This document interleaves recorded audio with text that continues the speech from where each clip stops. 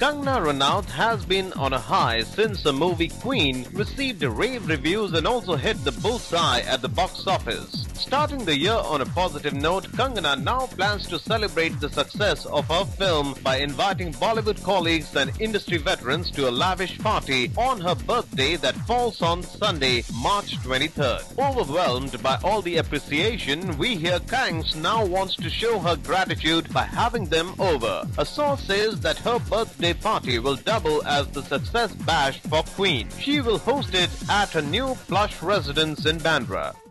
मुझे तो ना यकीन ही नहीं हो रहा। मेरी शादी हो रही है। ऐसा लगता है जैसे सपना हो। हाय, मेरी फ़र्स्ट नाइट परसों होगी ना शायद?